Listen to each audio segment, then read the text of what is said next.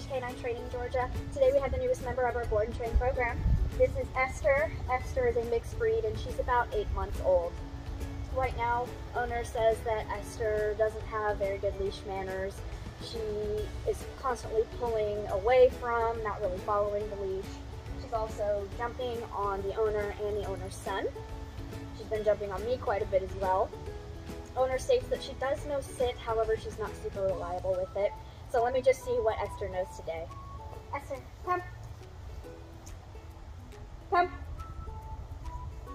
Oh, good. Ester, sit.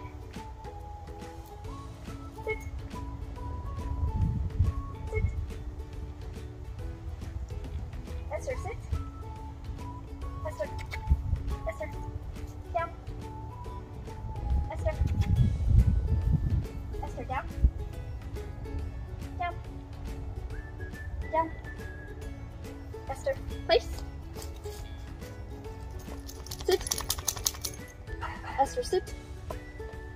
Sit. Sit. Ester. Heel.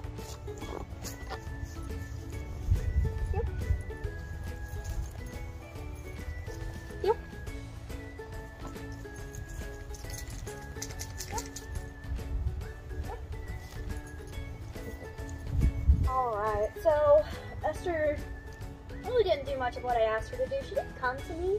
I'm not sure if that was a fluke or not. Um, I have asked her to come to me several times prior to this video and she hasn't really done that. Um, but overall, I'm noticing that her focus isn't on me. She's not really listening to me. She's just focused on everything else that's going on.